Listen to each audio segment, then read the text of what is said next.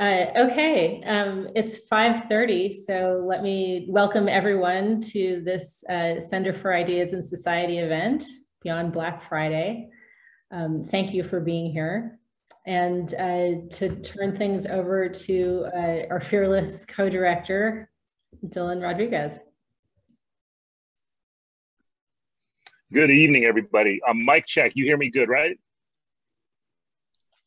Yes. Good evening, everyone. My name is Dylan Rodriguez. I'm, I'll go by he, him pronouns. I'm the co-director of the Center for Ideas and Society.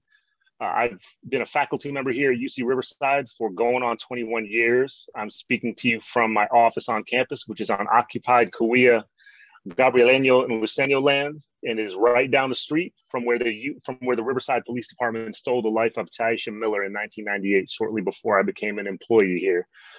I want to welcome all of you on behalf of the Center for Ideas and Society. Uh, the Center for Ideas and Society is an interdisciplinary and transdisciplinary research support center that's dedicated to advancing humanistic studies, intellectual exchange, and creativity at UC Riverside. It's my pleasure, my honor to introduce this evening's event, Beyond Black Friday, a conversation between one of our graduates, uh, Andrea Vidaurre, who's also the co-founder of the People's Collective for Environmental Justice, uh, and our UC Riverside colleagues, Catherine Gudis, Ellen Reese, and Susan Zieger. So Black Friday, as many of us have experienced, is very much a racial capitalist ceremony. Certainly, it is most obviously a ceremony of urgent, enthusiastic consumption. It is in excess of that a spectacle of capitalist liberty, which is to say the nominal freedom to satisfy the compulsory urge of the property relation which is also the chattel relation that forms and reproduces the wretchedness of civilization. Beyond this, Black Friday is a ceremony of grinding, exploitation, and toxification. This is what I think we're going to hear and learn about this evening. Black Friday is a tribute of sorts to the cultural production of racial capitalism as a consumption without end, an endless consumption, in which human insecurities are naturalized as the collateral damage of the consumer celebration the consumer celebration that is of wage insecurity, food insecurity, housing insecurity, health insecurity, and importantly, recreational and pleasure insecurity. Black Friday is a violent grind for working people in the Inland Empire, and its infrastructure prevails on it as it reproduces anti Blackness colonial power and racial capitalism's foundational logic of warfare. As I've shared with uh, the convener of this evening's event, Susan Zieger, I am a fanboy I am a fanboy of this project. I am a student of this project, uh, and I look forward to learning so much from you all. So, as I pass the microphone to Susan, I thank you again for allowing the Center for Ideas and Society to be part of this project. And I'm really looking forward to learning from all of you this evening. Susan. Thank you so much, Dylan. That was um, a perfect introduction. And um, those are the issues that we're going to excavate. Um, so let me uh, quickly add that we are recording this session um, for all those who are here. Uh, so thank you to Dylan uh, and thank you uh, Catherine and Jessica, um, also at the Center for Ideas in Society um, and as well as uh, Jeanette Kohl, the co-director. So I'm just going to say a few kind of um, more mundane facts to just orient us to Black Friday, um, you know, building on what uh, Dylan has said. And uh, I'll say a little bit about my project, and then um, each of our panelists will talk about their work, um, and then we'll have time for Q&A. So uh, to review the Black Friday phenomenon, and much of this will be familiar to you, uh, it really begins in the early aughts, and it coincides with our present period of heightened logistics. So it's a very much a United States phenomenon that also has global aspirations. Um, the term itself, Black Friday, has a longer history starting in mid century, and it just referred to the heightened foot traffic and car traffic that started the Christmas shopping season. Um, and it was also a day of worker shortages when people would call in sick after Thanksgiving to score a four day weekend. By the 1980s, it acquired this sense of um, retailers moving from operating in the red to operating in the black in terms of like accounting ink, um, because that signal symbolizes their holiday sales taking off.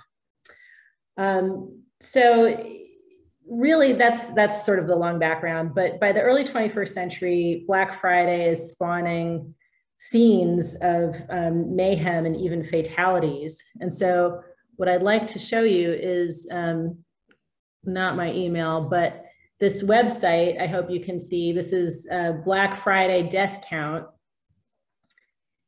uh, and it's it's really horrible reading um, you know, the, this is the sort of spectacle that gets has you know been associated with people trying to grab televisions and um, everything else that might be on sale. So people have taken it upon themselves to catalog all these things, uh, all these instances of people being trampled and wounded and shot and stabbed over parking spots and consumer electronics and all the rest. And you can see the timeline, it's all over the country. Um, there's a bunch in California, and the timeline goes back to um, the early 2000s. So I'm not going to, you know, kind of belabor this. Uh, it's easy for you to kind of go to go there yourself if you want to dwell in it. Um, but I just to show it to you to kind of give a sense of um, how Black Friday operates in the news and in discourse. And so you can sort of see like this, the media spectacle of what we're gonna unpack um, in our comments. So um, I think you know, in, in, this way, the blotter is sort of suggesting this um, grotesque kind of dystopian parody of Thanksgiving gratitude. And this is the ugly violence that's undergirding ordinary US consumerism, and it's like bursting into full view. Um, so I, I feel like that's where the blotter, the, you know, Black Friday death count is kind of coming in. But in a sense, we're already beyond Black Friday, um, but only because Black Friday has metastasized. So in 2015, Amazon introduced Black Friday in July, and that was intended to juice sales like even in the summer, um, and most likely also to ease some logistical strain by spreading it out. Um, and this was also the logic whereby retailers pushed the start of Black Friday into gray Thursday or brown Thursday and forward into Cyber Monday until now. I think this year, if you've you know looked around online, the deals are just Black Friday is not contained to the Friday at all. It's just sort of like a week, a month, like this indeterminate season. Um, so as online sales overtake in-person shopping, all that, you know, the spectacle and the violence, the overnight queuing, the door busting, the chaos, I think all that might wane. Um, and that has certainly been accelerated by the pandemic. Last year, when foot traffic in stores fell um, by estimates of at least 20%, if not more, um, as did all of the deals um, due to supply chain shortages. So that's kind of the moment in which we find ourselves now. Another way in which we're thinking of beyond Black Friday is, um, you know, where, where is Black Friday in 2021 and going forward into the future? Um, how is it changing even as we're sort of recounting its, its short 21st century history? So uh, that's just to kind of orient all of you to like what it is. Um, to say a little bit about my interest in this, um, I find it interesting as an informal social practice. And I think, Dylan, you put it perfectly to call it um, a racial capitalist ceremony.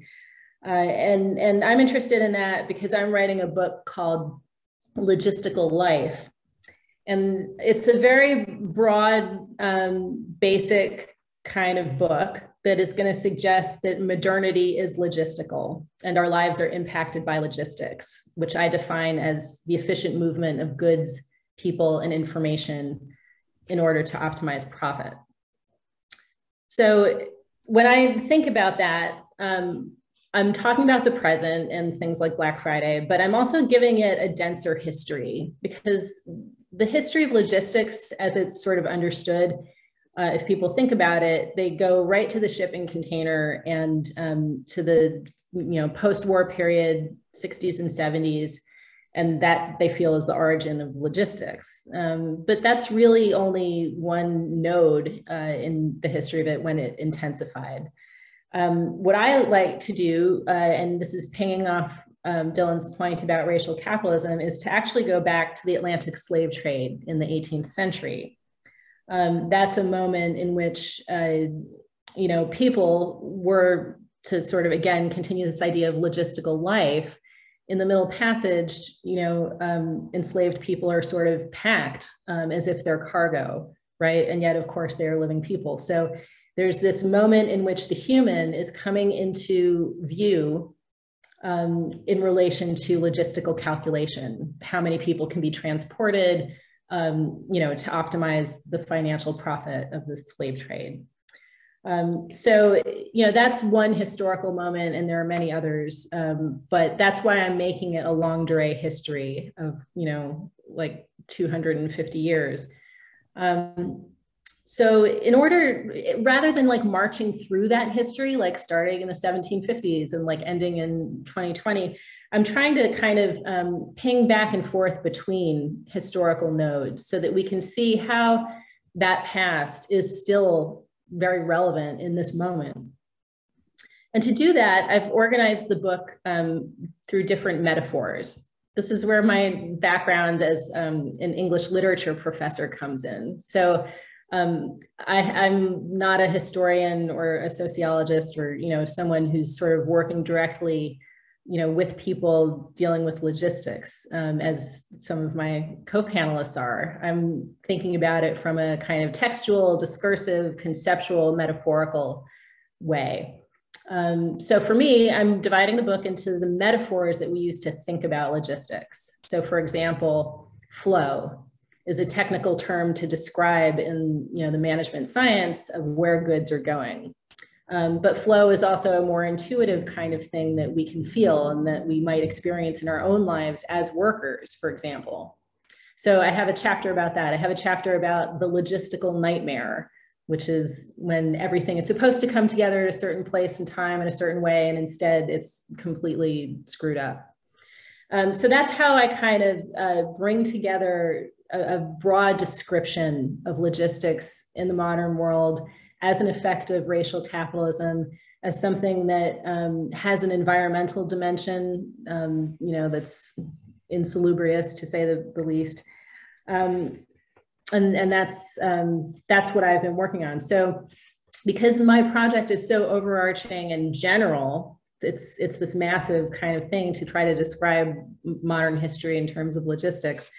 Um, I very much wanted to convene this panel to come back to our hometown, to come back to Riverside, to our campus, and and the Inland Empire, and to make sure that my book has a grounding and a footing in the place where I work. Um, and so this is kind of following on the heels of um, a wonderful book by uh, our former colleague Edna Bonacich and um, her co-writer uh, Jake Alimahomed, who um, is also Ellen's co-writer on the book that she'll be discussing, and who unfortunately couldn't make it to this panel.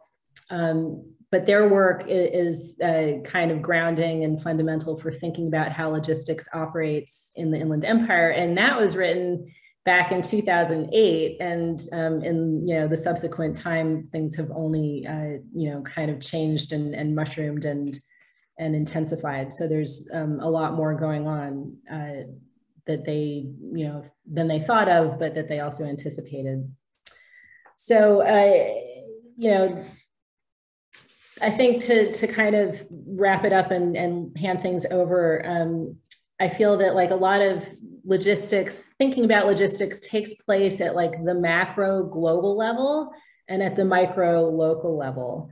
And because my project is sort of global and macro, um, I want to have the micro and the local um, as well. And I know that many of my students work in warehouses in the area. Um, and if you are a logistics worker in the audience, um, you know, I would love to hear from you in the Q&A. Um, you know, you're, you're a, you know part of this um, in in a very real way. Um, that you know I would love to hear your voice. Um, okay, so the you know beyond of beyond Black Friday means that we're going beyond the spectacle of consumer greed um, or retailer greed and consumer violence because those two things are like kind of locked together in a exploitative way. Um, to think about some of the things surrounding Black Friday that are not going to be in you know the news story about people breaking down doors uh, to get into Walmart. Um, but to think about air quality and wages and land use and all the things that are subtending logistics and you know underneath the supply chain. Um, okay, so thank you for uh, listening to my spiel. Um, I hope it won't be ungracious if I let the speakers each introduce themselves. Um, you already have their bios and then they can kind of pop out the relevant facts that uh, will lead into their comments. But, um, you know, do uh, with me warmly welcome um, Catherine Gudis, Ellen Reese, and Andrea Vidaurre.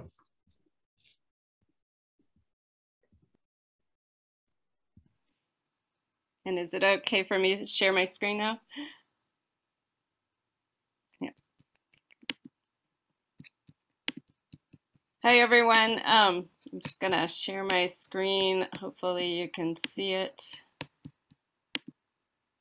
There we go. Everybody see that screen?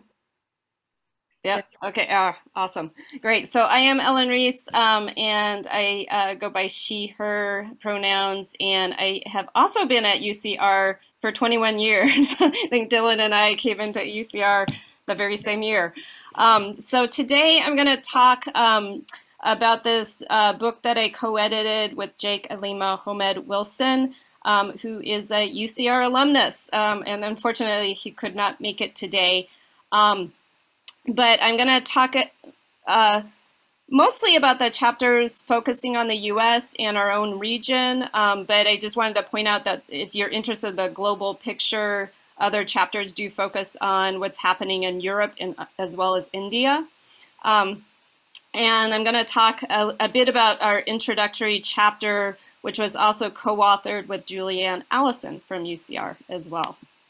Um, so the pandemic happened and Amazon's power and influence, which was already enormous, grew even more, right, in 2020. Um, by mid 2020, the corporation's market cap increased to $1.58 trillion, dollars, which surpassed Microsoft. Jeff Bezos was the first person in world history to amass a net worth of over $200 billion. And Amazon hired nearly 400,000 more essential workers since 2019, bringing Amazon's directly employed global workforce to over 1.2 million workers by September of 2020. And that's not even including the over 500,000 contracted delivery drivers that deliver Amazon packages, many of whom are delivering them in vans labeled as Amazon vans, but they're not directly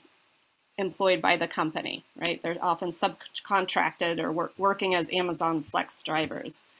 Um, and Amazon's profits, right, depend upon racial capitalism. Uh, Amazon, I think, is a particularly uh, good site for studying contemporary racial capitalism in the neoliberal era. Um, and if we borrow from Cedric Robinson's concept of racial capitalism, it highlights how capitalist accumulation depends upon white supremacy and racial violence. And I think we really get a sense of that when we look at who does what in Amazon, right? 71.4% of top executives and senior level Amazon employees are white, most of whom are men. Um, meanwhile, workers of color, especially Black and Latinx workers, make up the most of Amazon's blue collar workforce. Um, and Amazon's own data calls them sort of laborers and helpers, which is a little beyond just warehouse workers.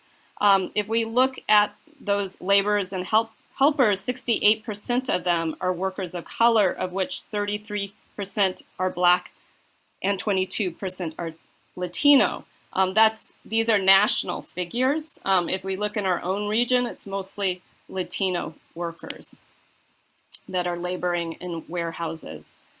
Uh, so what do we mean by Amazon capitalism. Um, this is a term we use in this book, and we're interrogating, our, our contributors are interrogating in this uh, volume. Um, and in part, we're, we're referring to the enormous rise in Amazon's power and wealth and its increasing influence in our global capitalist economy.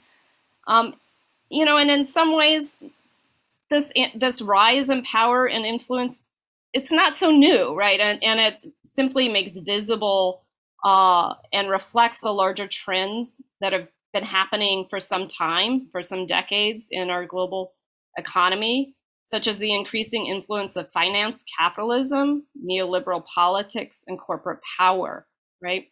And even longer term problems associated with systemic racism and capitalist accumulation.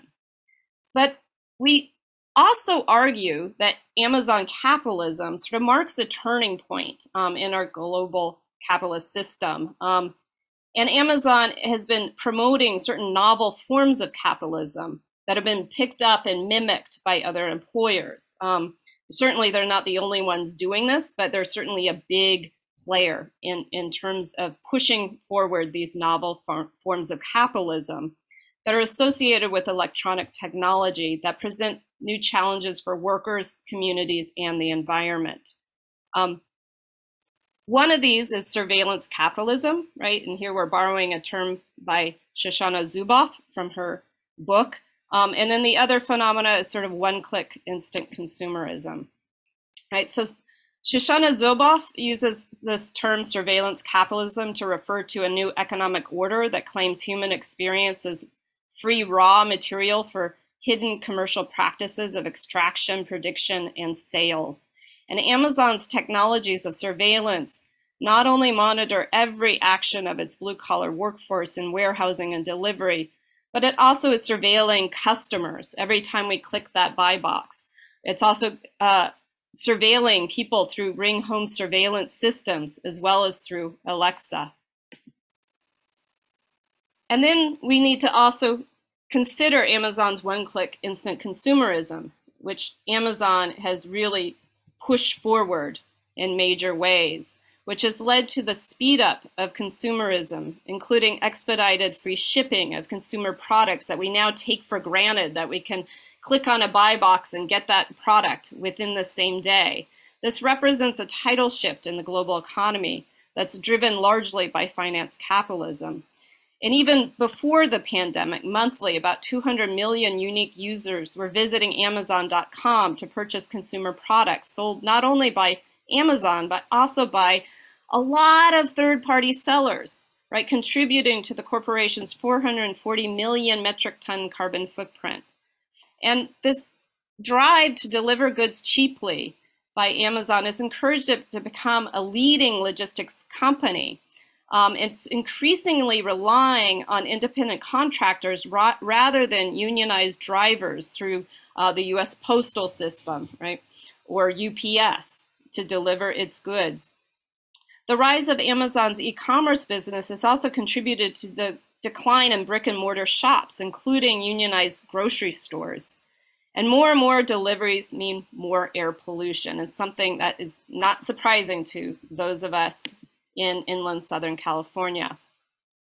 So in this edited volume, uh, we draw attention to the impacts that the rise of Amazon capitalism has for our cities and our local economies, um, and the challenges it presents for blue collar warehouse workers as well as delivery drivers, most of whom are workers of color, the grueling pace of work, their low pay, the precarious terms of their employment, they experience high injury rates, high turnover rates. It's a high churn model of employment. And there's risks of exposure to COVID-19, and there's been attacks on unions, right?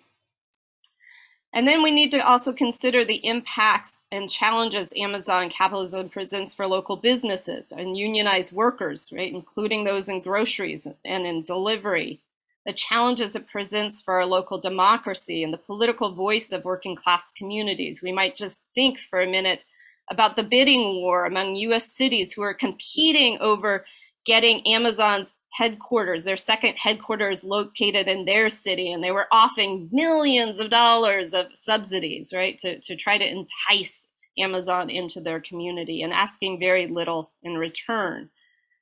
Amazon also provides the technology for increased surveillance of both activists and immigrants.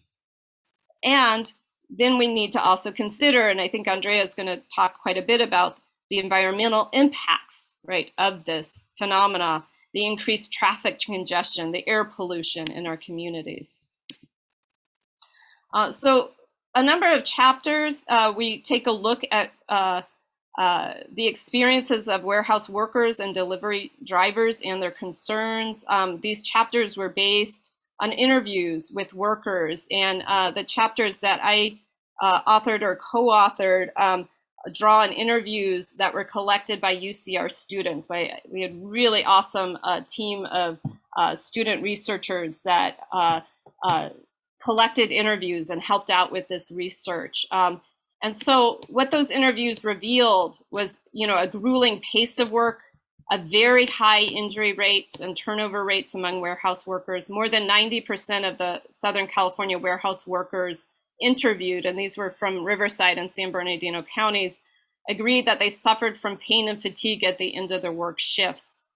And under the pressure to work fast that's enforced through electronic surveillance, many warehouse workers, as well as delivery drivers, who are often subcontracted and misclassified experience stress. They cannot work safely and they cannot use the restroom when needed. And these are pictures that, you know, were going uh, viral, right, of workers, you know, who, um, you know, have to urinate in bottles because they're worried that they can't make rate or they're not going to deliver the package on time. And Amazon's PR people were denying that this was a reality and the workers fought back by by photographing documenting right their piss bottles right so um, yeah so many uh, workers you know interviewed for my study and, and around the world you know find that they they can't use the restroom when needed um, and then in chapter six uh, we take a look at the experiences that many warehouse workers had with uh, racism, racialized xenophobia, sexism, sexual harassment. Most of these workers are men, but a growing number of them are women. Um, and then we also uh, talk about the um, sort of the runaround they get from the human resources. You know, if, if they actually uh, file a complaint, right, they had really inadequate responses. Um, so we talk about these problems, but we also talk about the resistance that's been growing. Um, one of my favorite chapters in this edited volume was uh, written by members of Amazonians United in, from Ch Chicagoland, um, and they wrote it collectively. Um, and so that's chapter 17. Um, and Amazonians United um, is a grassroots uh, worker-led organizations that's formed chapters across US cities. Um, and so this particular chapter was focusing on uh, the work that they'd been doing in Chicago. Uh, and these workers had engaged in various courageous collective actions, including walkouts, and they've won uh, important victories in, in, improving their working conditions, including be better access to clean drinking water, payments for when workers had to leave their shifts because of the lights going off or it was too hot or there just wasn't enough goods to deliver for the number of workers assigned to that shift.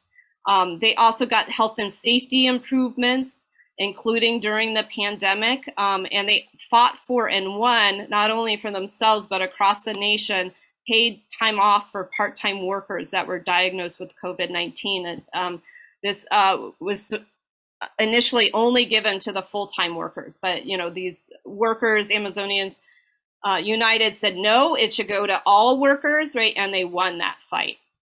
Um, so uh, what's been happening in Chicago and, and even regionally, uh, there has been growing resistance to Amazon, and this is happening not just in the US, but also transnationally. So there is an emergent global resistance movement um, and you know, just as the power of in, and influence of Amazon capitalism is growing, so too is popular discontent with it and resistance. Um, and so we argue that Amazon provides a key site for worker organizing and for building alliances among workers across cities and nations, which they have been doing.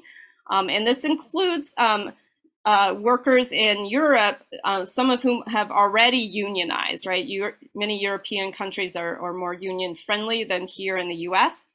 Um, but uh, some of the grassroots organi organized workers in Amazonians United have been working and coordinating with them, sometimes around Black Friday protests, uh, Cyber Monday protests, among other uh, times.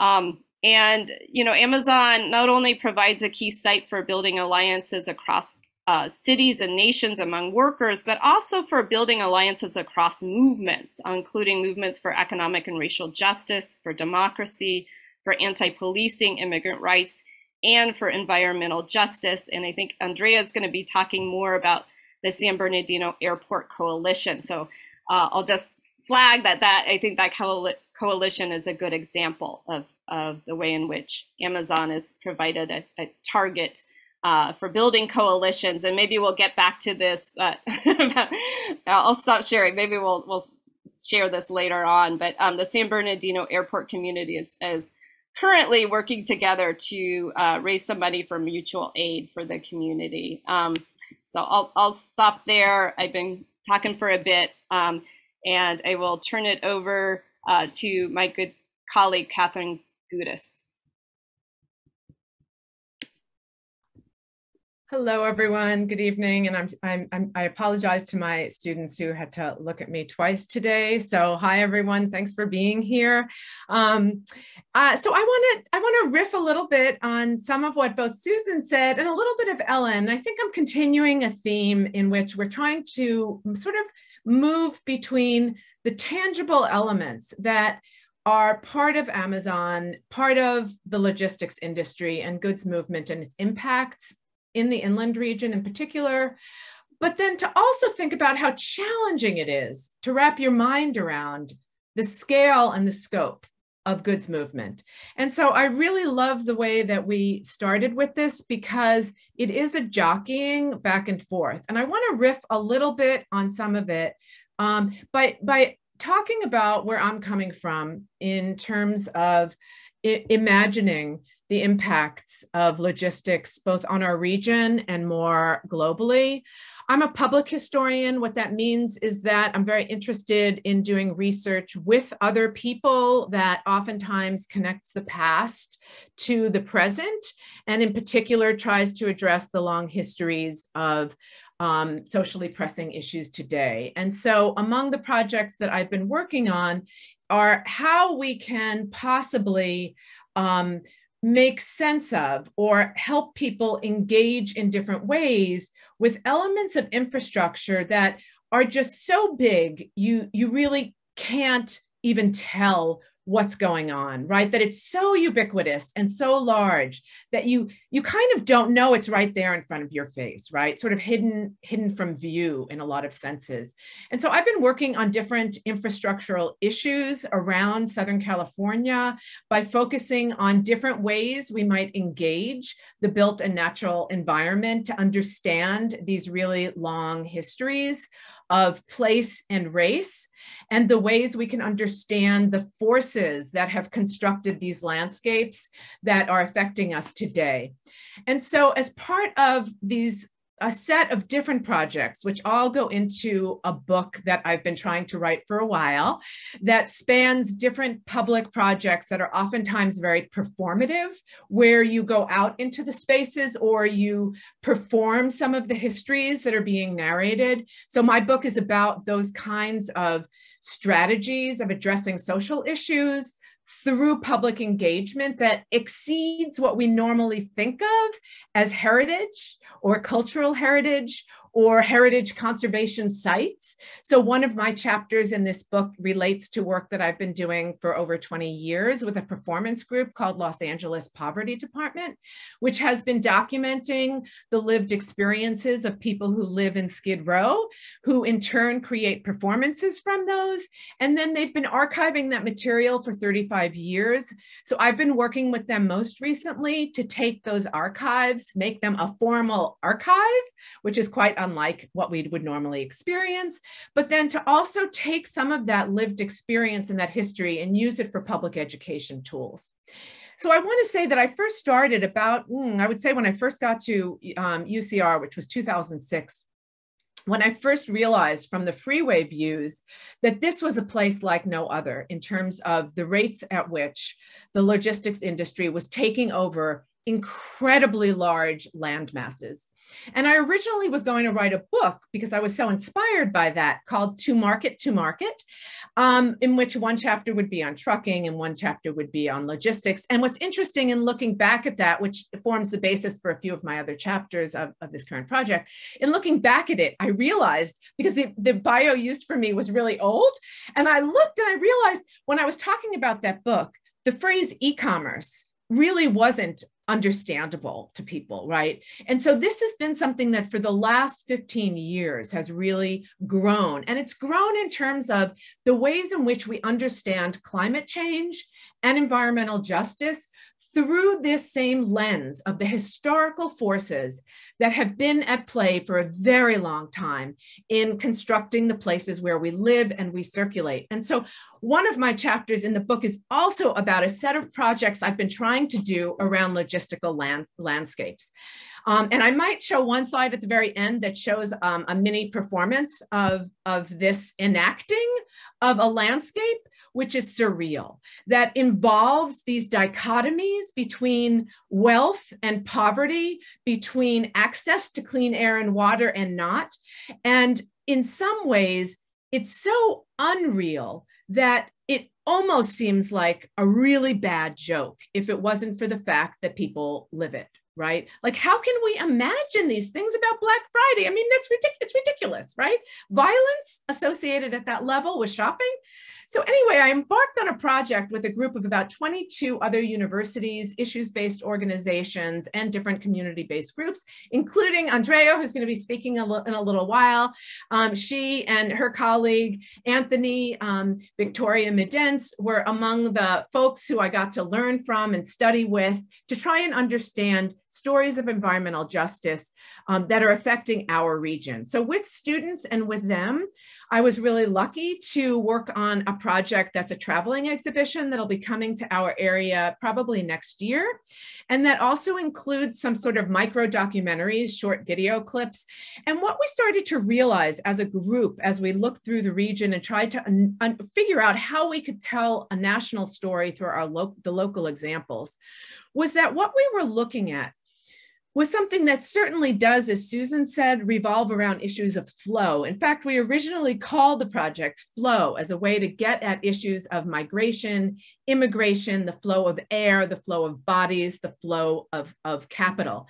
And we realized, like, like as Susan mentioned, that, you know, rather than logistics being a, a mere management science of distribution, it's a global set of circulatory systems and that it encompasses all phases of the very long process of what she describes as from um, the ways in which bodies were carried as commodities in the hold of ships and orchestrated to be delivered as property. And that logistics, as we imagine it today, is not separate from that. It's a global set of circulatory systems that encompasses all phases of production from resource extraction to design to manufacture, distribution, and then consumption, right? And that that might describe material flow like goods, right, which are made and assembled and circulated along concrete, along steel corridors and conveyances like ships and trains and trucks that go along, you know, freeways. But that logistics is very much fully about the quest for dematerialization. In other words, dematerialization referring to a desire to undermine the physical facts of labor, the physical facts about the built in natural environment, and the conditions of work, all with an aim to eliminate human time in favor of speed, to eliminate bodily presence in favor of automation for workers and algorithms for managers, and to do away with the materiality of human bodies and subjectivities, right? And so there's a wishful thinking about logistics that's certainly about the removal of workers' bodies and certainly about the container, the container ship, the very, as one uh, scholar puts it, the very coffin of remote labor power but it's also about rendering invisible the obdurate materiality and impact of information systems, of data, what you don't see, like network servers and wires and cables, etc. Okay, all of this is what enables information and communications technologies that revolutionized logistics and just-in-time production, and that pretty much put the final nail in the coffin of America's domestic mass industrial production and reconfigured those capitalist social relations of power, which um, Ellen has spoken about so, so well. So data and its management is essentially how, and this is to my students of my class, how Walmart helped change a world that Amazon would continue to colonize. So this is the empire of logistics. It's a violent terrain, as others have said, and it does fit into the phrase Inland Empire, right?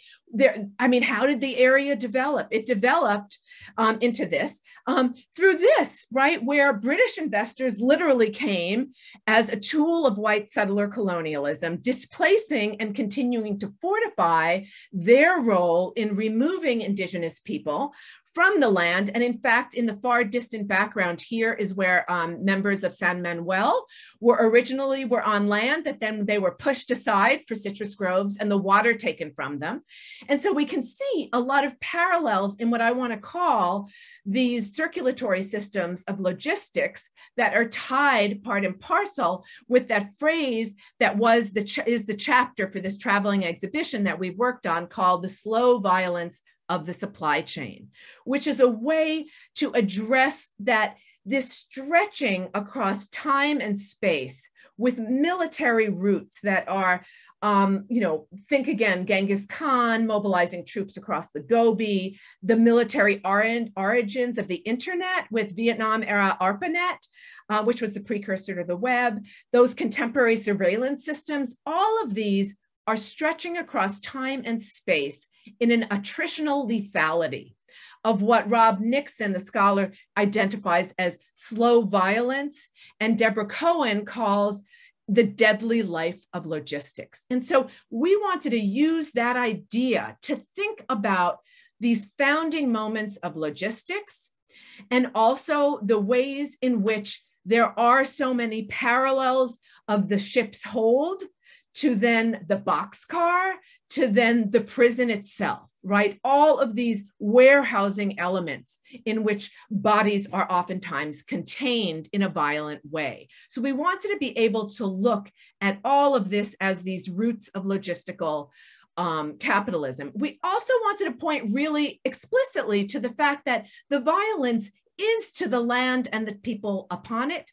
It is about the ways in which the landscape was colonized. It is about the ways in which the continued worker exploitation has additionally sought, again, that dematerialization in trying to render laborers invisible themselves. This is a 2009 kind of famous uh, demonstration that blocked the, the street on the way to Schneider Logistics to choke the supply chain. And I want you to look out for the phrase choke the supply chain because right now at the ports of LA and Long Beach, as those hundred ships are hovering in the water and we see it in, in aerial views, people are talking about how the supply chain is choked. Whereas as, as, as, as Ellen and her colleagues wrote about in a previous book, um, choking the supply chain is also a tool of labor advocacy to try to advocate for rights. So we are at a prime moment to try and advocate for rights, to make visual the fact that this is not new, that these um, empire, the empire of logistics was the citrus empire. Um, and that when we think about violence, we can think about the entire route across the supply chain, whether it's in West Long Beach, where those children at the Hudson Elementary School are playing in the shadow of the fumes that choke them in turn along a diesel death corridor, or whether you're at Nunez Park in San Bernardino, where there's violence incurred against the bodies of those who are playing on the field, or when we think about the violence of incarceration during World War II, when the Army Supply Depot first developed in San Bernardino, as scholar Brinda Sarathy points out in, um, in her literature describing Mira Loma, the epicenter in the Riverside County of the um, supply depots that has its origins during World War II when the US Army was mobilizing to create an entire new city and remove people from LA to incarcerate them at Manzanar. This was actually, and it's still the building right here, which is called the um, Mira Loma Space Center, where the supplies were organized and logistically sent out to Manzanar to feed the people there and also to train the military out in the desert. And yet today we see that um, sort of the American dream embodied in the single family house, where right over the back fence is the, are the distribution warehouses affecting the quality of, the, of life of the primarily communities of color who have settled there. So I just wanted to point out that oftentimes we go through these landscapes and don't have this kind of view. This is a view of the Prologis um, warehouses that um, conquered land that ought to have been public from the former um, San Bernardino Norton Air Base and instead was developed for private interests. We were sold out by our politicians as this land was redeployed from being citrus landscapes to military landscapes to now logistics landscapes. You can still see the palm trees lining the way, and you see a few remnants of citrus. Those are no longer there today. Um, but note that we see this long transformation simply in this journey that we might not notice when you, for instance, are late for school school where one of my students said, yeah, the supply chain made me late for, for, for class because in, in fact, as we try to journey through the region, we are blocked in various forms of our journeys too.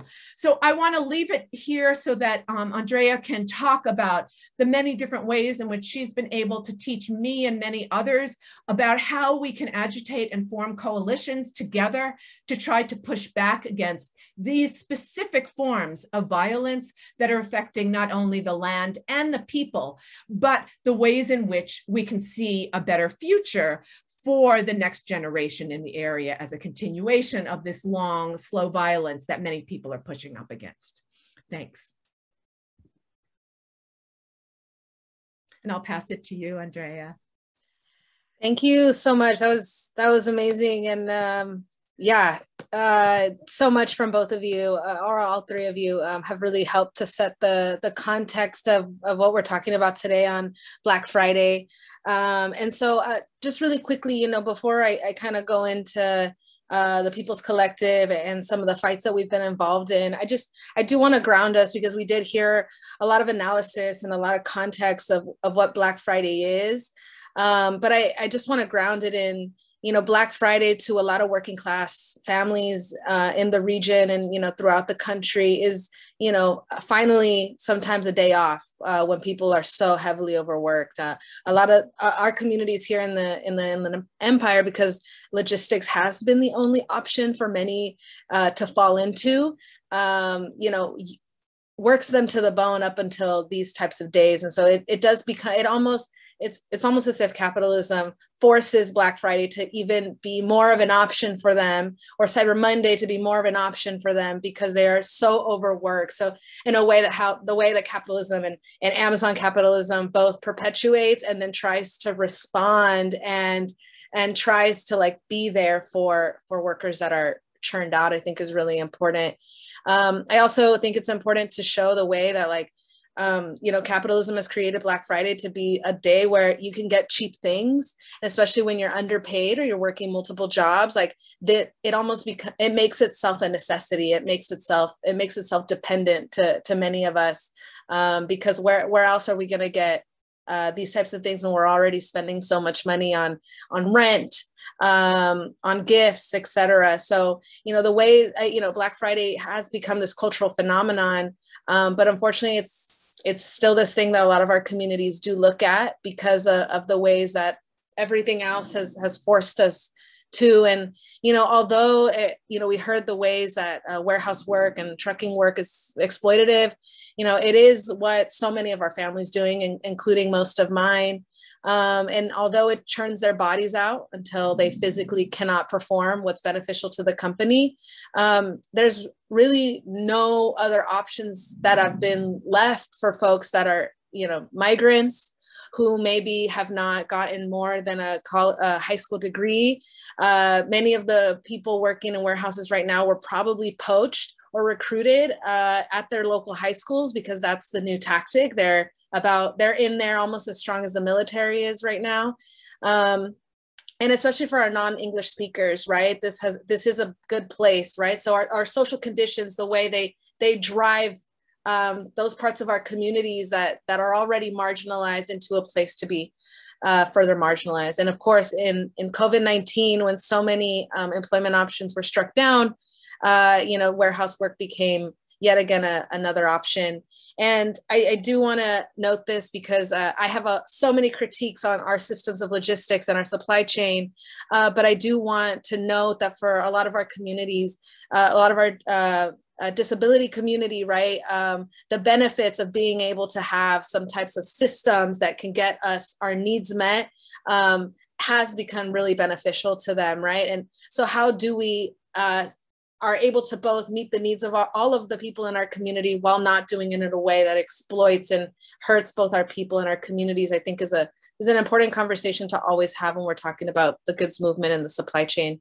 Um, but yeah so so my name is andrea. I she her pronouns. I live on, on occupied uh, lands uh, on the occupied lands of the tongva people.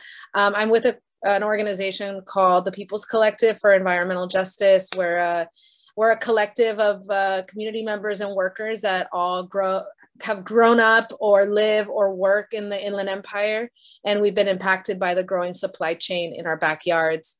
Um, and all of that because of the context we've been talking about today and, and a lot of the history we've been able to teach ourselves about what it's not just a warehouse. It is so much more than that. Is it's yet another way of keeping our communities locked down.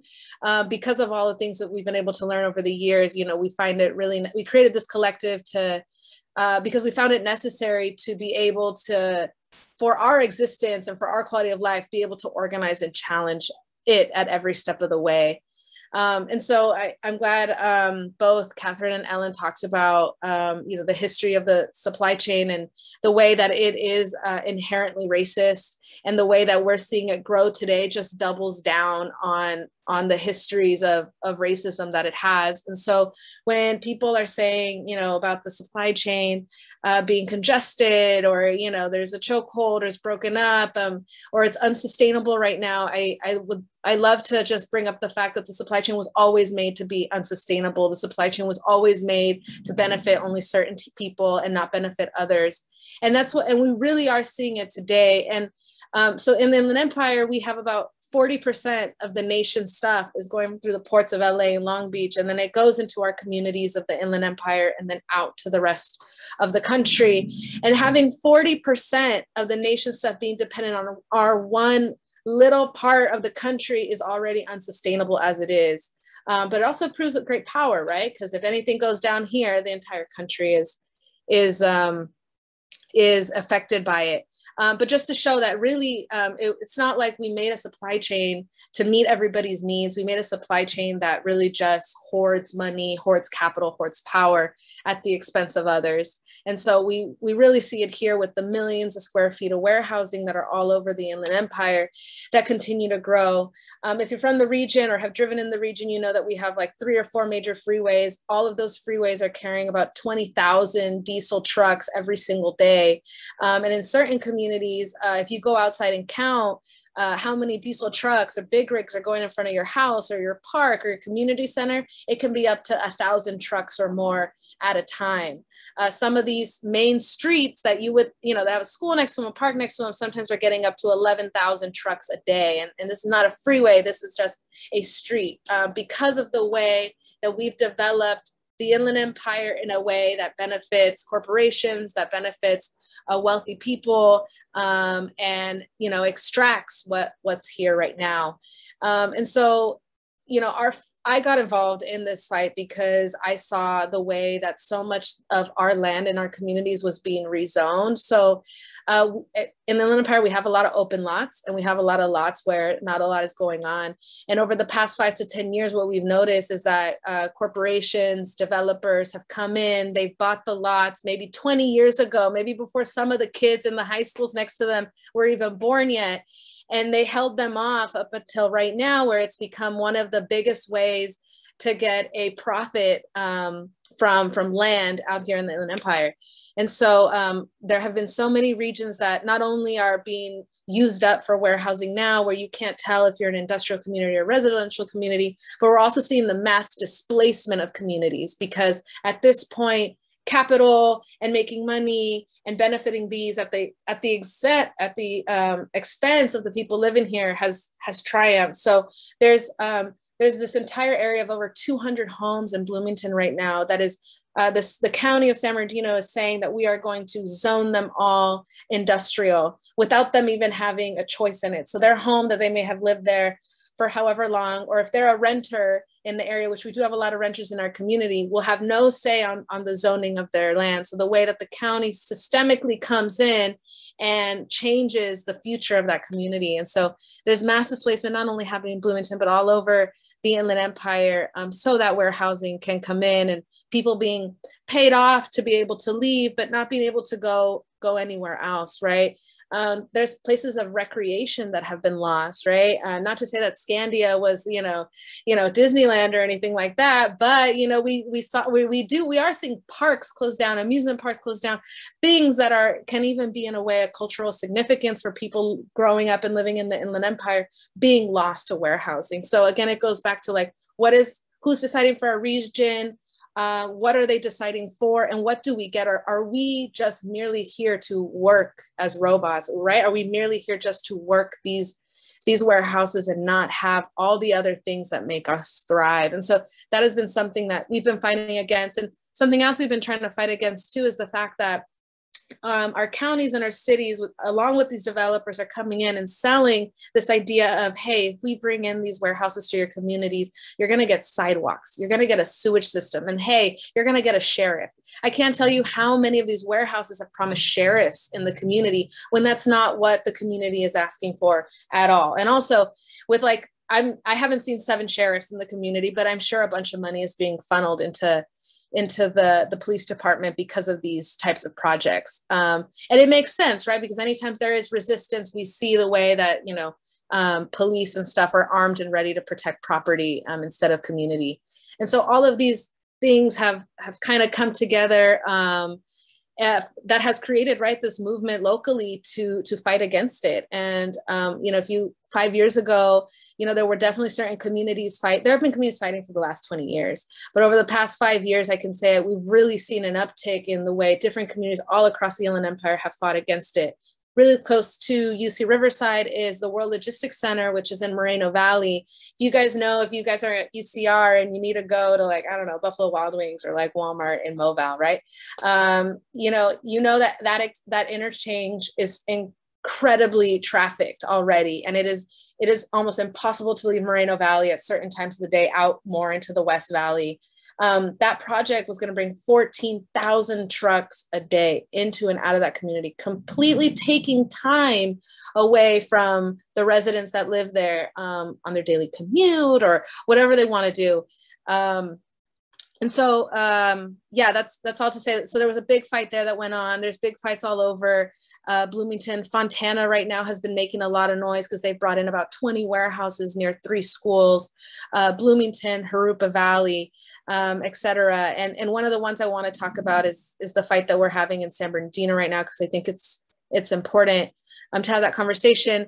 Um, and really um, our you know today we've been able to talk about all the ways that logistics affects our quality of life and what it means but um, the thing that we focus on day to day is really the health impacts because you can't yeah 14000 trucks um, you know 20000 trucks on these freeways a day yeah it's a big nuisance right? But really what it's doing to our bodies that we can't see is is really the angle in which we come at this to because in you know in the inland empire san bernardino riverside we have some of the highest levels of ozone pollution in the country.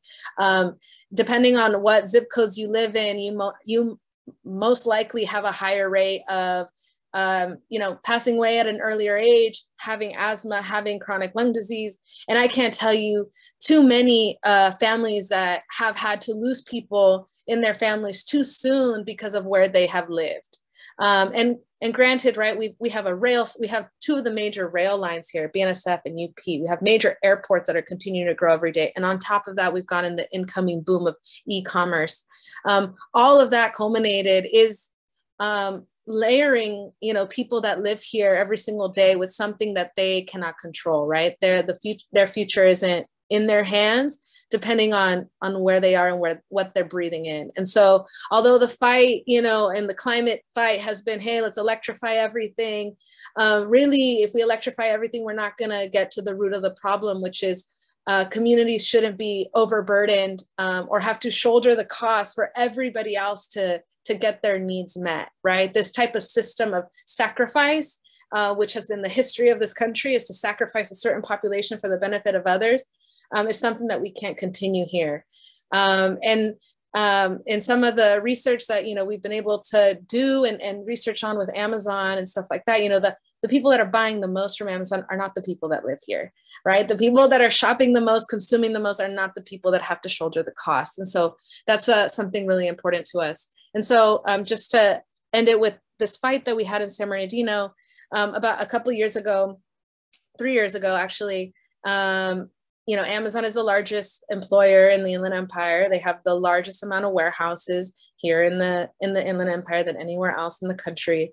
Uh, they wanted to grow their Amazon Air footprint because they said to have same day shipping or next day shipping, we're going to have to put things through air cargo flight. And they've already done this in several other parts of the country, um, but they wanted their West Coast one and they wanted to do it at the San Bernardino International Airport, which used to be the Norton Air Force Base, which was supposed to be public land, but the cities, uh, the cities all sold it off to a private developer who said, "Hey, let's open the doors for Amazon to come in." This was all hidden behind closed doors, as they usually do.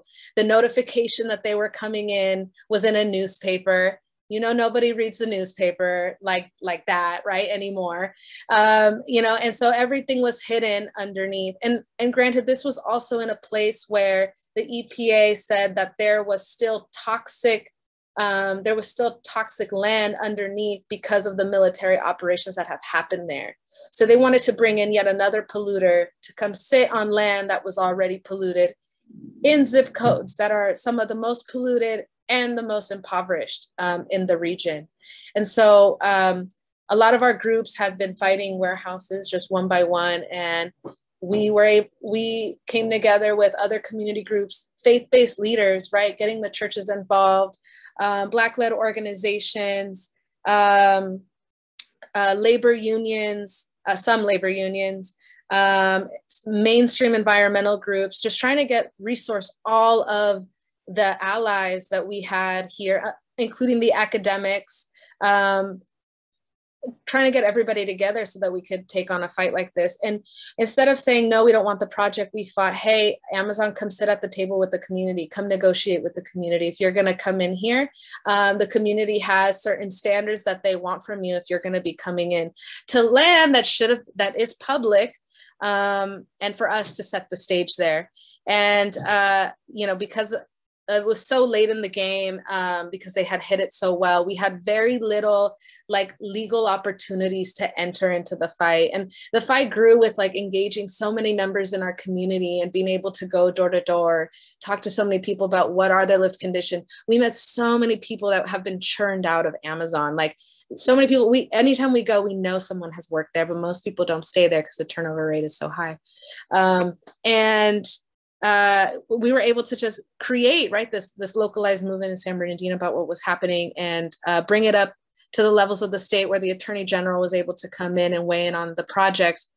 Um, and it led to you know physical resistance as well. You know on two three years ago i guess now black friday three years ago, uh, community members were ready to take on a physical fight, a physical demonstration, and they were able to um, do a community picket in support of the workers that were inside of the Amazon facility. Uh, and we were able to slow down trucks for almost 24 hours, right? Uh, completing an entire picket of stopping trucks um, on both sides of the freeway, trying to, you know, trying to choke choke Amazon's line on one of their most important days, which was Cyber Monday, um, as a as a way to show a community force um, that we can be the ones to to show you that you do need to slow down for our community. You do need to come and sit down and listen to the community. Um, that was a that was an amazing experience because um, both it supported workers on the inside, but also it was the community coming out and saying that you know workers are part of our communities and and communities are workers. So um, this fight isn't just it, this fight is about um, that type of solidarity. And so um, that project now was in litigation for about two years because the airport decided to lie about the impacts that the airport was going to have, that Amazon was going to have on the community. And just a couple days ago, we got the result from the Ninth Circuit, which shouldn't be surprising because it's very hard to rely on the state to uphold um, any types of protections for communities, especially when it's environmental. And the judges had decided that uh, Amazon was not wrong in saying that they had they were going to bring no significant impact into the community. And so that's you know that's just that prolonged fight. And I think if we stop now, there's uh, that's a lot of momentum lost. So we're just going to keep going and appeal that decision, hopefully, and, and continue to fight that on that front. That uh, Amazon shouldn't lie about uh, the impacts that they're going to have in the community.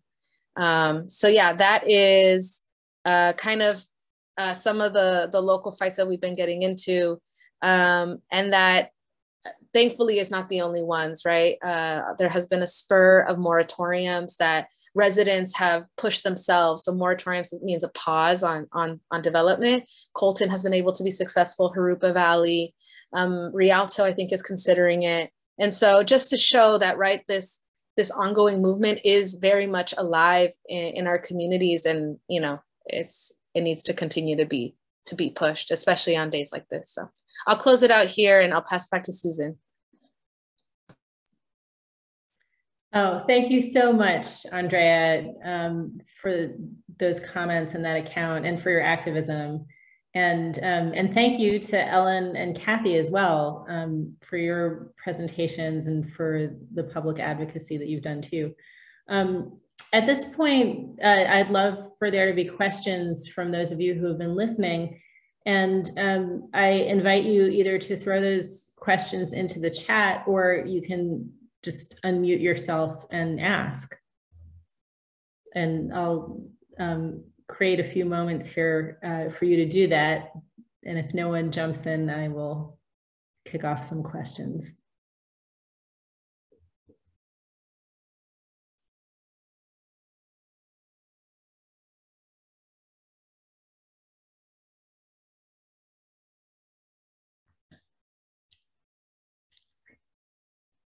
I mean, one thing uh, that we can perhaps talk about while people are formulating their thoughts and questions is, um, you know, the question of uh, choking and resisting and slowing down and insisting on, um, Andrea, as you put it so beautifully, you know, the space and the time for community. Um, how to do that uh, you know, it seems to me that there is like the local, which, you know, you just described, like you know, all the cities you just mentioned, this region. Um, and then also in Ellen, in your presentation, you talked about um, the way that as Amazon gets bigger and more networked and connected throughout the world, that there can be possibilities for more networked and connected resistances to it. You know, like for example, um, I think maybe it was two years ago, 2019, um, there was like an international effort on Black Friday that was directed against Amazon in cities all over the world where Amazon is. Um, and so I guess I, I, sort of have, I don't know, maybe it's a big unanswerable question, but, um, and it's not like which is better or anything, but like, you know, how can we leverage, you know, can we connect like uh, the efforts at San Bernardino Airport in those communities? To other parts of the world? Like is is that possible? Or does it come from like where does it come from and how do we nurture it if we wanted to do that?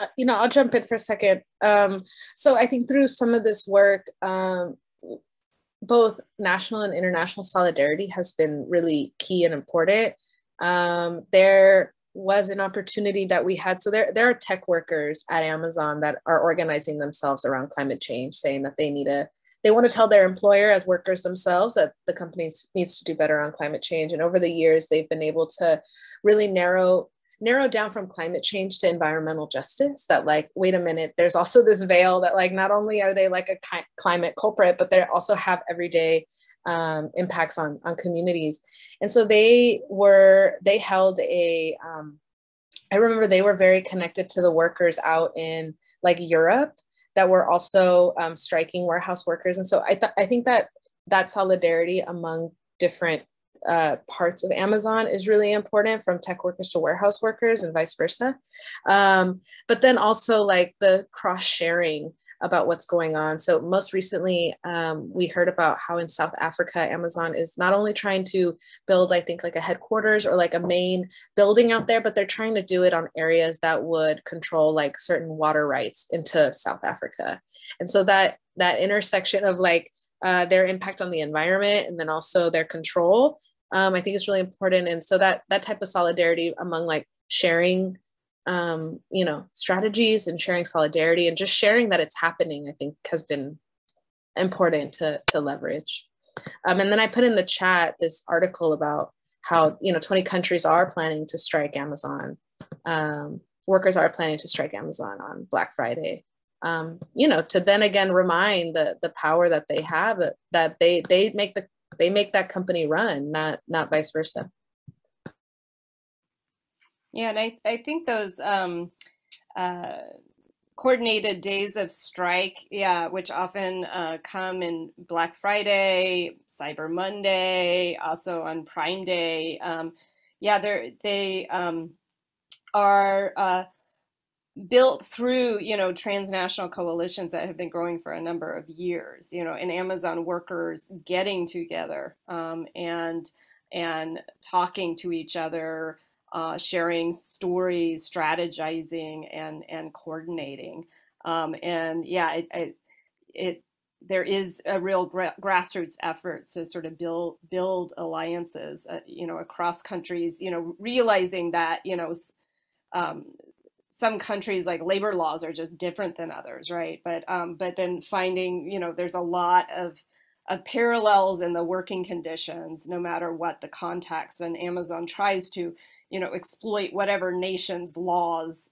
you know as as much as they can, right? And in exploiting workers and you know sometimes moving you know warehouses from one nation to another, right, is a way to also you know find ways to to minimize labor costs and so on. So, you know, uh, th those transnational alliances and alliances across cities too, right, become become really, really important, I think, in, in building the resistance. Um, but I think, you know, there's still, you know, events happening, you know, some of it's, you know, walkouts, some of it's strikes, some of it's also building and educating too, you know, and and educating more and more workers, not only within warehouses, but also in the larger logistics industry as well. You know, I know like last year, um, the Teamsters uh, Union, which is also uh, investing more money in organizing uh, am around Amazon,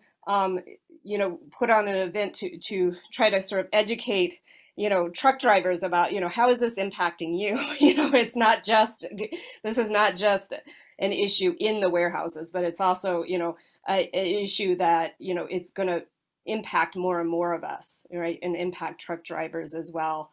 Um, and, you know, and I think that kind of uh, educating, organizing, you know, I, so I think there's many different forms that it's taking. And I think in, in San Bernardino, the airport communities, uh, uh, group is now fundraising, I think, uh, to provide some community care is maybe a providing an alternative, you know, like how do you push back? Maybe it's also to, to create an alternative. So, so this is- Are you looking yeah. at it? oh, great. Awesome. So this is this flyer um, with, you know, a, a group of uh, community and labor activists um, and hoping um, some of you can join us in this effort um, to provide some, some uh, community care uh, to people in San Bernardino. Um, so, um, and we're raising money for, for tents and socks, socks. And I don't know if Andrea wants to say more, more about this. Yeah, yeah, this is something actually we did last year because um, the residents, although, you know, the residents spend a lot of time kind of trying to figure out how to organize in their communities, uh, which is a lot of like canvassing, getting people like involved, um, like educated and organizing. Something that, you know, we run into is, is the fact that like so many people's needs are not met in the community, even with one of the richest companies in the world housed out of San Bernardino, the the fact that so many people's needs are not met and they're unfortunately out in the streets they're living you know outside there's uh, there's just food instability, housing instability, etc. Um, we think as a way to combat that is like, how do we not create a dependency on capitalism? How do we create like interdependency? And so, um, not that we want to support a, a, mutual aid group in in San Bernardino that has been every single weekend trying to get needs met for folks um, together. Uh, we're going to fundraise this year and, and donate it to them so that they can get you know tents and socks out to folks that are living in our community. So um, yeah, if that, and this is a byproduct of all the things we talked about today is the fact that so many people are uh, living unhoused and with insecurity. So yeah, yeah, if you guys can help, uh, you know, much appreciated. We have a, we have a higher goal this year than we did last year. So yeah, so I, I want to just say that part of what we're looking at in this flyer is also a really um, a, a real a shifting tide, I think, um, in terms of the ways in which coalitional politics have been developing in relationship to this. Because I'm thinking about when Edna Bonacich's book was out and the way the discussions around it were around labor issues and around the impact of, of goods movement, but not necessarily the same integration. And I'm thinking about when the book came out, there were some I think it was my first year at UCR, and there were some conversations around it. And I, I feel like in the intervening time, there's been a lot more and I think the San Bernardino airport communities is emblematic of this, a lot more of bringing together labor, environmental justice, youth, and seeing these as interrelated so that labor isn't separate from the ways in which we would think about environmental justice. The forms of labor you do are not separate from it. The construction of the warehouses themselves, or as my, there, um, someone who's on the line here who um, also participated with San Bernardino Airport Coalitions, and I had um, had interviewed um, uh, a Native American um, man who talked about the ways in which the warehouses are this permanent intervention on the landscape that not only uh, doesn't allow the water to seep into the ground, but that will displace all of us because when they're finished with it, it will be this empty, hulking shell in the way that we see um, mass industrial remains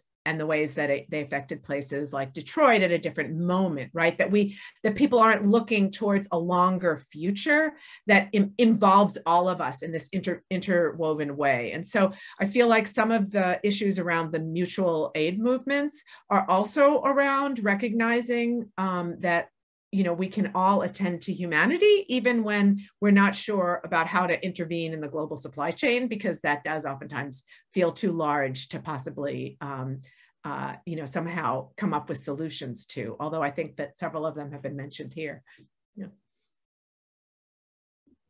Yeah thank you all three. Um, uh, to go to the chat, Noah asks a question Could expansion and improvement in rail transportation and infrastructure help alleviate the negative impacts in road based transportation? And if I can piggyback onto your question, Noah, if anyone wants to comment on the recently almost pa passed uh, infrastructure bill at the federal level, um, that's a, related to this question about infrastructure and logistics? Yeah, um, I'll jump in. So, yeah, rail infrastructure could be like a really great way of getting so many trucks off the road and onto communities. I think the problem is that our railroads here are controlled by a monopoly, one of the oldest standing monopolies, uh, which is uh, BNSF and Union Pacific and they are solely interested in kind of keeping their model even though across the world other countries are putting overhead catenary lines, electrifying their rails so that it's not running on coal or diesel anymore. And unfortunately, where we find the cancer clusters the most in some of the health studies are closest to the rail yards because you're talking about thousands of locomotives are in that area. Many of them will idle right outside of homes that are placed right next to them. And so I think that rail is a really important option, just not the way that it's done now. I think if we were able to force them to put overhead catenary and modernize, even if it's not profitable, then it would be um, a really good move to go. And we are, unfortunately, the infrastructure bill, I think, did not put enough money on putting overhead catenary lines because I don't think that's the direction they're trying to go in. But uh, there was money for electrifying other parts of it, which I think are important because there's a lot of risk reduction um, that needs to be done at these places. Um, but because it's a federal issue and literally rail yards are protected by the Constitution, uh, we find it we find it really hard to try to get any government agency to regulate them. But there is a there is a policy that the, our local air district has to do on rail, and that has been one of our like inflection points that we've been trying to push this idea of like the rail yards need to be owned by community and they need to be modernized and put overhead lines so that we can create a more efficient system because putting everything on trucks across the country is just not not going to work. But uh, i'll pass it to catherine and ellen. Yes, I just want to call attention to the fact that the expansion of the um, the intermodal yards is a huge issue also, and that I agree with everything, Andrea. That I didn't know um, half of what you were talking about in terms of I didn't I didn't realize that um, that we could have had right those lines in the infrastructure bill, but didn't. Right? I didn't even I didn't even think about that as an option. That's the thing. It's very difficult within our existing system to imagine the other possibilities, which is partly why we all gather in the way we are here, or we join other kinds of community meetings to try to expand our perspective on it. So I, I guess I wanted to mention two things. One is that I feel like um, the problem right now is that uh, there needs to be expansion of the of the rail yards in order to accommodate the increased use of the trains, and that's causing an incredible wave of displacement among people who are already incredibly precarious in terms of um, where they're living because those aren't the very they're very helpful um, neighborhoods particularly um, and also because they are being displaced and that's adding to the whole shift in the valuation of land in the area such that one will need to to move further and further east where there's additional expansion of new highways and distribution warehouses. So it, there, there's a, you know, there's something here that just spells out this larger these larger patterns of displacement that are are really a huge concern right because we we're, we're used to people saying well it's about gentrification and in this case we're talking about the, the ways in which the value of the land has shifted and that it's a combination of forces, but that include the ways that for many years the area was seen as cheaper than dirt, right? That the dirt was really had no value. So we ought to put as many warehouses as we can because then we'd have jobs and then people would have a better living and then we could build more houses. And now we're in this um, in this conundrum of those very warehouses that were supposed to be promising jobs now booting people out of their homes and the value of the land increasing so that just moving isn't as easy as it might have been. And so the, the rail yard expansion projects in different parts of the whole supply chain from the, at least in Southern California, you know, really are posing huge challenges, as Andrea had said in the beginning about, um, you know, green space being removed in the face of needing it desperately, or parks and other homes and communities being, being um, you know, um, yeah, obliterated um, in this new wave of expansion. Thank you. Um, let me create a pause and ask if any of our listeners want to ask a question in the chat or verbally. And go ahead and unmute and ask. Yes, someone's raising their hand. Uh, Greg, please go ahead. Yes, hello. Um, this is phenomenal work, everybody, and I really want to appreciate you all for uh, putting this together. I'm a 40 year uh, resident, um, native of the Inland Empire, um, with just a brief time away um, for military service. But um, I've seen the IE sort of uh, evolve to what it is today as a warehouse economy and culture. And, you know, I come from very humble beginnings. And um, so, uh, you know, I, I, would like to, I would like to just ask, you know, what do you say to the, to the local resistance of, of the, of the work that you're doing and that, yes, this, the, the inland, the, the warehouses are creating jobs and we're very low income and we need this money. Like, what do you say to those folks? And and and also, what can we do? Um, I live out in Hemet. I, have lived all over the Inland Empire, from Riverside in Ontario to Yucaipa, um, Hemet, and, and the like. So so I kind of have a good feel of the entire area. Where I live, um, you know, it, we we have um, a city government um, who sort of uh, not romanticizes over, over, the warehouse, but they would like to, to entertain more more opportunities to, to perhaps create them here, but there isn't a whole lot of interest in it because of our location central uh, um, uh, on the peripherals of two major highways. We're kind of in this far off valley, I guess, this valley away from the Inland Empire Valley.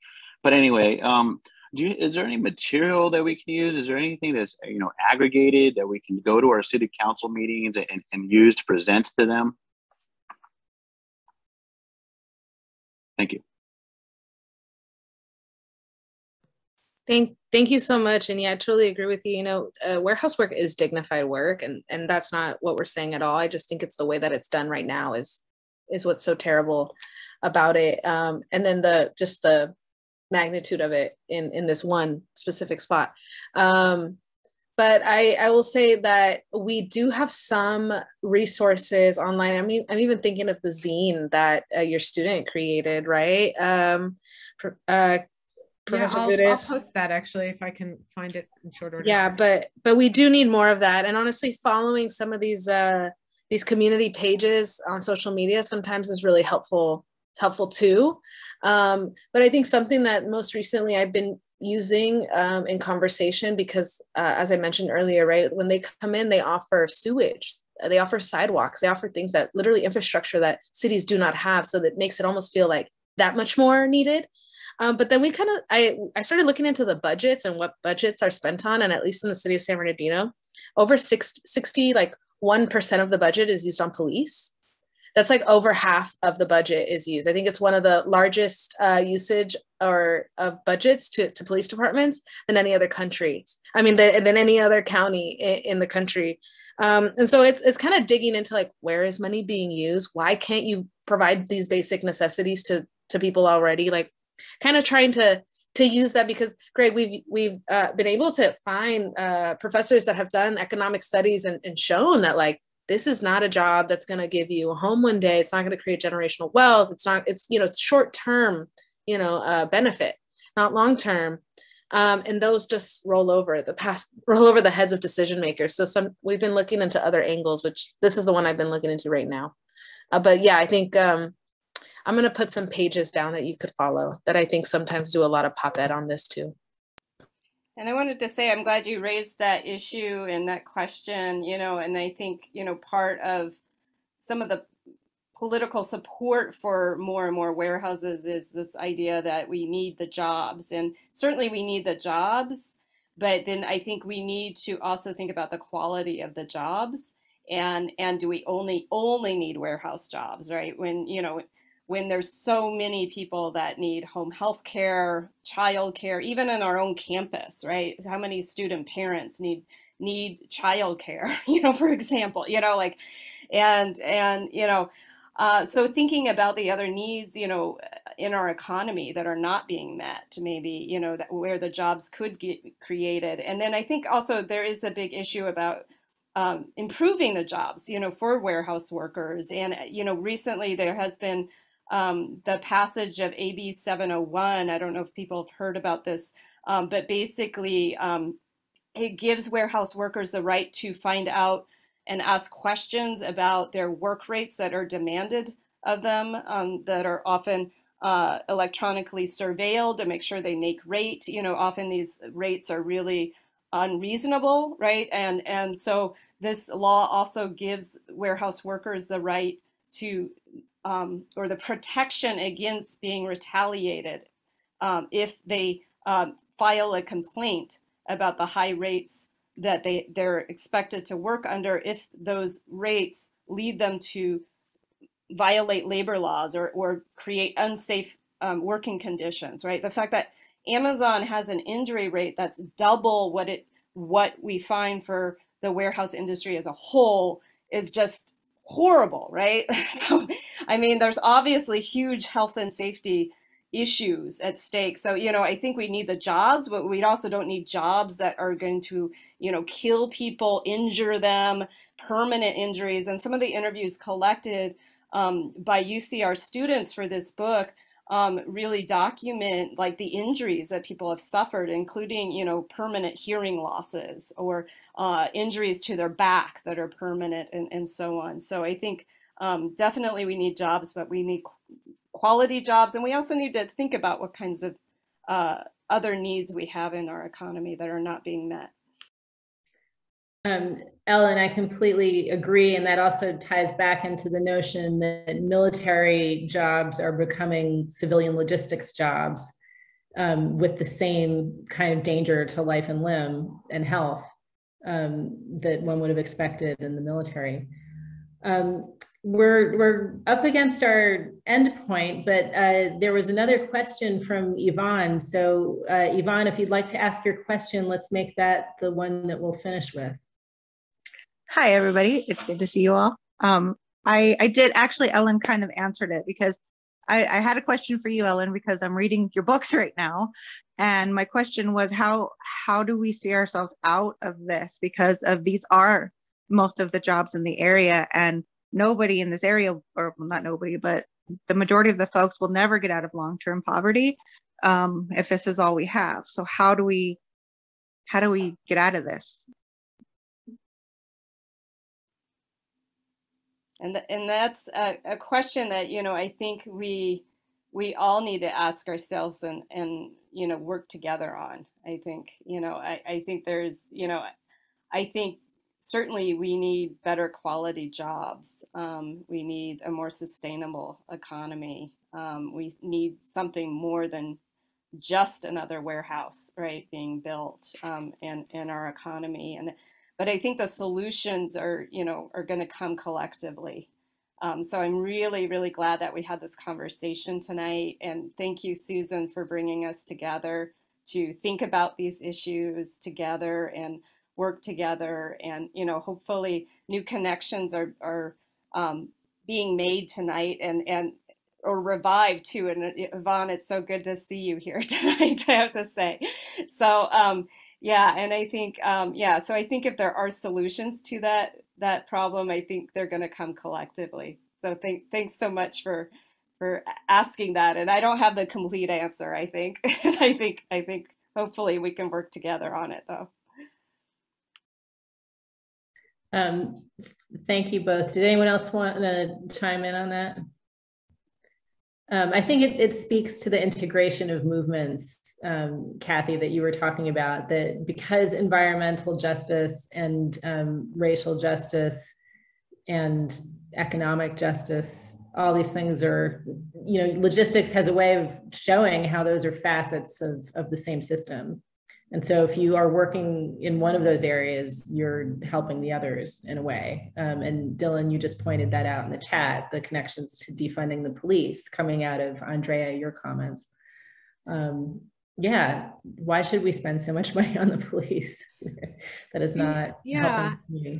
I, I also just want to acknowledge that I know that um, uh, from the names in the in the group here that there are several of you who work in um, in warehouse positions, and I want to just reiterate what Andrea said that um, I think that many of you have called out the ways in which you know it's a job, right, and it's a job that you know is, is a respectable job we wish that you were paid more. Um, we wish that there were benefits for everyone.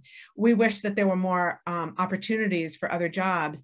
And I think that, that, that also some of you have noted as well that um, the school training programs that are where high schools um, and college programs are funded essentially by Amazon and for logistics training that in some cases they are making very good promises for engineering jobs in logistics, which are high paying jobs. However, most of those jobs, especially at the high school level, are, are not in learning the um, engineering elements of doing logistics as, um, you know, in terms of the data management, and rather are about learning to be warehouse workers, which people have talked about as, you know, the, in terms of really trying to sustain the area as one that Yvonne described as people, um, a persistence of poverty or a proletarianization, uh, right, where people are, are forming a group that can barely make it on the wages that are there. And so there's an honoring of that profession, but I do think that this area um, has a lot of promise in terms of the ways in which, for instance, medical industries are offering, um, slowly offering more training programs, and the ways in which public health has been attentive to the different communities and the ways that there's a great need for that. So I just wanted to kind of call out the idea that it, this is this is all incremental, and I think a lot of the same people working on the environmental issues are working on the issues around public health, and then also bringing in the ways that medical, um, some additional kinds of jobs um, should be, you know, coming up through the pipeline in, in the area. And I kind of see that as a bit of hope, quite honestly, the idea of um, just diversifying the professional opportunities. Um, okay, thank you everyone. And um, let me, uh, you know, I would love to kind of continue this, but I, I want to respect everyone's time and, and um, let me also clarify that um, I convened this with you, Kathy Gudis. So um, you are my co-convener and, you know, we worked on this together. So thank you for doing that with me. Um, thank you for pulling it off. and thank you, Ellen and Andrea, uh, for being here and, and offering your wisdom. And, and for all of your work and Dylan for uh, setting the table for us to start us off. And thank you everyone who attended um, and, and asked questions and threw in comments and links and just listened. Um, we appreciate you. All right, say, I'll say goodnight.